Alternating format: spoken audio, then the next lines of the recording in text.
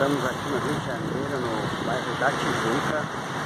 E vou trazer algumas novidades aí, os bastidores desses Jogos Olímpicos. Hoje na abertura, vou ficar até encerramento. Então vou fazer alguns vídeos aí, falando como é que tá o Rio de Janeiro. Aqui eu tô no bairro da Tijuca, ali atrás tem até uma base da, da polícia.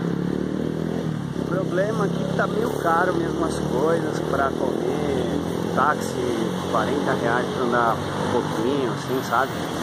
Mas tem até um certo policiamento, ninguém tá falando de terrorismo nem nada. Esse bairro aqui é tranquilo. Então parece bem seguro mesmo.